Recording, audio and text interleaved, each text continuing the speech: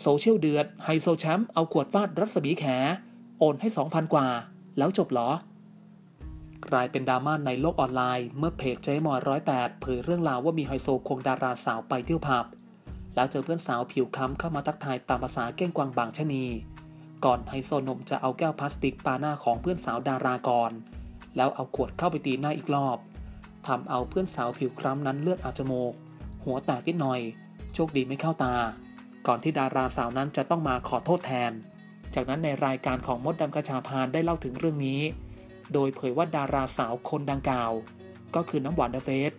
ส่วนไฮโซหนุ่มคนนั้น ก็คือไฮโซแชมป์จิรัตขณะที่เพื่อนสาวผิวค้ำที่โดนทำร้าย ก็คือรัศมีแขฟ้าเกื้อล้น ซึ่งโดนทำร้ายที่ผับในพัทยาจังหวัดชนบุรี หลังจากเรื่องดังกล่าวถูกเผยแพร่ออกไป ปรากฏว่าเพื่อนพ้องในวงการบันเทิงต่างออกมาโพสต์ให้กำลังใจอยู่เคียงข้างรัศมีแข พร้อมกับติดแฮชแท็ก save รัศมีแข จนขึ้นเทรนด์ทวิตเตอร์ประเทศไทย ก่อนจะตามมาด้วยแฮชแท็กรัศมีแข ที่กำลังร้อนแรงขึ้นอันดับหนึ่งอยู่ณเวลานี้ นอกจากนี้ชาวเน็ตบางส่วนยังได้ตั้งคำถามไปถึงสาวน้ำหวานด้วยว่าทำไมถึงยังมีอารมณ์ที่จะลงรูปกินนู่นกินนี่อยู่ได้ ทั้งที่เพื่อนชายไฮโซเพิ่งจะเอาขวดไปตีหน้าคนอื่น โดยชาวทวิตได้แคปรูปจาก IG Story ของน้ำหวานและไฮโซแชมป์ที่ลงรูปคล้ายกัน ขณะกำลังนั่งกินโอมากาเสะ ส่วนในไอจีของสาวน้ำหวานนั้น ตอนนี้ได้ปิดคอมเมนต์ไปเป็นที่เรียบร้อยแล้ว ซึ่งจากนั้นน้ำหวานก็ได้เคลื่อนไหวครั้งแรก โดยได้โพสต์ภาพใบหน้าเศร้า พร้อมรูปนาฬิกาทราย ซึ่งอาจสื่อความหมายถึงเหตุการณ์ที่พบเจอ อาจทำให้ทุกอย่างกับไฮโซแชมป์จบลงแล้วหรือไม่ล่าสุดไฮโซแชมป์โพสต์ชี้แจงเหตุการณ์ทั้งหมดใน IG โดยได้สรุปว่า ขอชี้แจงในฝั่งผมบ้าง ก่อนอื่นขอแสดงความเสียใจ และขอโทษคุณรัศมีแขกับเหตุการณ์ที่เกิดขึ้นอีกครั้ง โดยเหตุการณ์ครั้งนี้ทำไปเพราะความบู้วาม เพราะเกิดความเข้าใจผิด ซึ่งไม่สมควรอย่างยิ่ง ผมขอแสดงความรับผิดชอบ และยอมรับผิดทั้งหมดแต่เพียงผู้เดียว เนื่องจากเหตุการณ์ที่ปรากฏในข่าวระหว่างผมกับคุณรัศมีแขในคืนวันที่ 3 กันยายนที่ผ่านมาณร้านดังในพัทยา ผมได้มีโอกาสขอโทษ และปรับความเข้าใจกับคุณรัศมีแขในวันที่เกิดเหตุแล้ว นอกจากนี้ในคืนนั้น ผมและคุณรัศมีแข ยังโทรคุยและนัดแนะ เพื่อรับประทานอาหารกันด้วย ซึ่งจะถือโอกาสนั้นแสดงความรับผิดชอบ และดูแลในส่วนอื่น แต่ในวันรุ่งขึ้น ผมได้รับข่าวจากหลายด้านเกี่ยวกับเรื่องดังกล่าวทำให้เกิดความไม่สบายใจกับเรื่องราวที่ออกมาว่า ผมไม่รับผิดชอบ ไม่รับโทรศัพท์จากคุณรัศมีแข ซึ่งไม่เป็นความจริง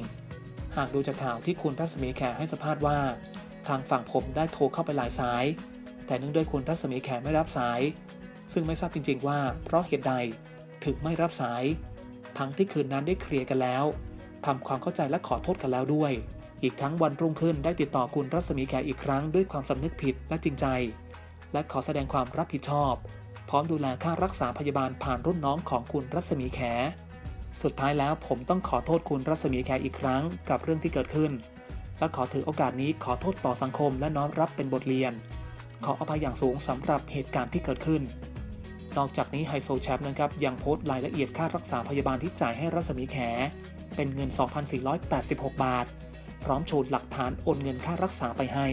แต่ทว่าประเด็นดราม่าเรื่องนี้จะยิ่งทวีความเดือดยิ่งขึ้น เมื่อชาวเน็ตวิพากษ์วิจารณ์การสนันอีกรอบ ในประเด็นใบแจ้งค่ารักษาพยาบาล 2,486 บาท โดยหลายคนนั้นสงสัยว่าเหมาะสมแล้วหรือไม่ กับการทำร้ายร่างกายคนอื่น แล้วโอนค่ารักษาให้แบบเป๊ะๆภายหลัง โดยไม่ได้ตามไปดูแลตั้งแต่ต้น โดยหลายคนมองว่าคนก่อเหตุควรจะไปช่วยดูแล พาไปโรงพยาบาล มีค่าทำขวัญ ค่าเดินทาง ค่าเสียเวลาต่างๆ แถมค่ารักษาพยาบาล รวมทั้งต้องมีการรักษาอย่างต่อเนื่อง พร้อมตั้งคำถามว่าไม่น่าเชื่อไฮโซจะโอนแบบพอดีเป๊ะ หลังจากเป็นประเด็นในโลกออนไลน์อีกครั้งทำให้ไฮโซแชมป์นะครับตัดสินใจลบโพสต์ดังกล่าวไป อีกหนึ่งช่องทางข่าวบันเทิงครับที่คุณจะสามารถติดตาม และอัปเดตข่าวสารไปพร้อม ๆ กันได้เลยนะครับ อย่าลืมกดติดตามชมซูเปอร์สตาร์ดาราแล้วก็อย่าลืมเข้ามาติชมหรือคอมเมนต์มาร่วมแชร์ร่วมแสดงความคิดเห็นกันได้เลยนะครับ ที่สำคัญครับต้องขอกราบขอบพระคุณทุกท่านมาก ๆ ด้วยครับ ที่เสียสละเวลาในการติดตาม รับชมรับฟังกันด้วยครับ